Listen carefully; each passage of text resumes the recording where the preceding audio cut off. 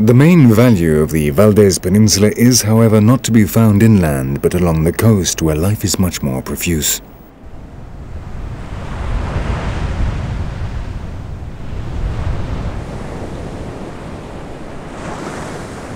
The sea that bathes these coasts teems with life and provides food for the colonies of sea lions, elephant seals and penguins that live here.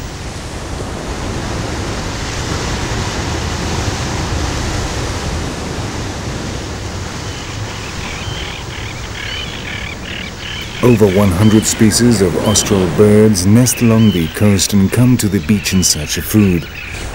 Some of them, such as the seagulls, have seen their numbers rise in recent years as a result of the growth of local waste dumps, which have become another source of food for these voracious birds.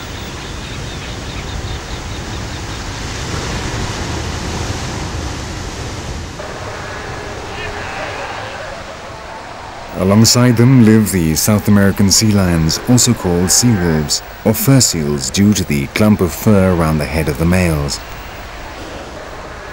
The total population on the Valdés Peninsula is estimated to be around 20,000, the majority of them females who each year give birth to hundreds of pups on these beaches.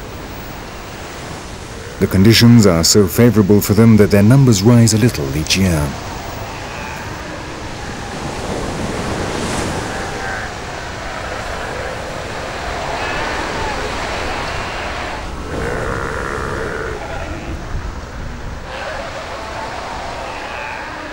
The waters around the peninsula must have sufficient reserves of food to sustain these growing colonies of mammals and seabirds. Part of these reserves is revealed at low tide. The beaches are then covered with a multicolored blanket of vegetable, animal and mineral remains washed ashore by the currents.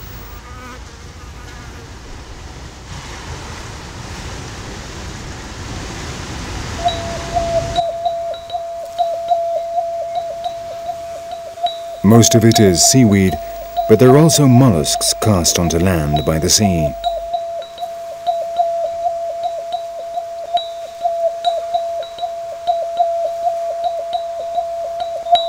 The local birds are quick to take advantage of this gift. The protective shells of the bivalves are no obstacle. The seagulls have discovered an infallible method of getting through them. When they find one, they take it in their beaks and fly up with it.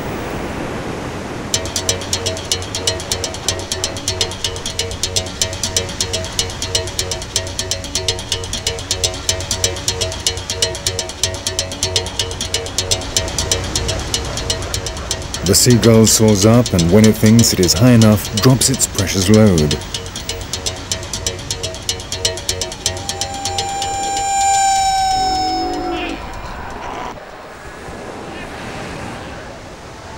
After one or more attempts, the shell will crash against a rock and break apart, and dinner is served.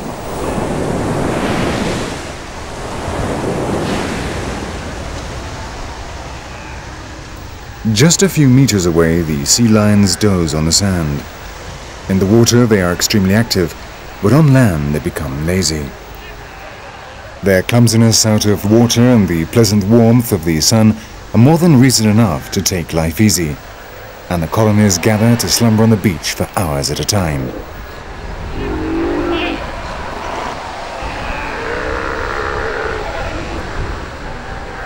The sea lions remain along these coasts all year round.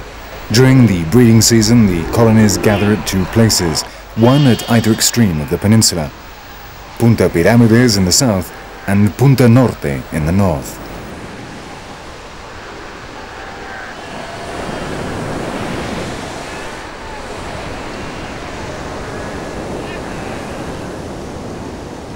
The pups also enjoy the afternoon sun. They are still very small and don't have the layer of fat necessary to survive in the freezing cold waters of the Atlantic. For the time being, their life is more terrestrial than marine, though not for long.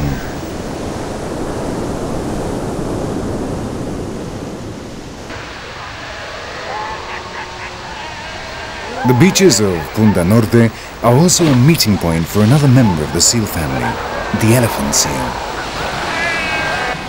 The elephant seals are the largest members of the seal family in the world.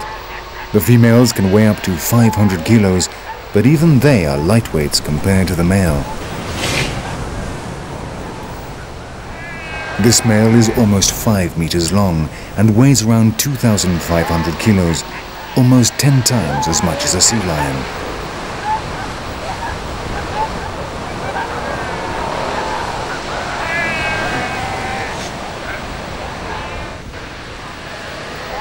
The Valdés Peninsula is the only continental region where elephant seals have established a breeding colony.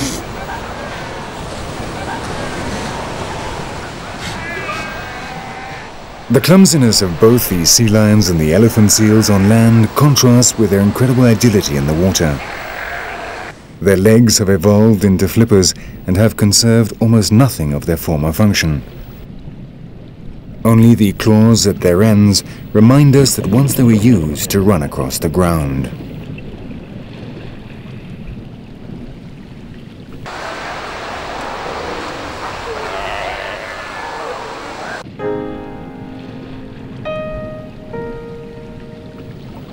The layer of fat that surrounds them and their ability to restrict blood circulation at the periphery of their bodies enable them to remain in the cold waters of the peninsula for hours on end. There they play, hunt, and may even sleep.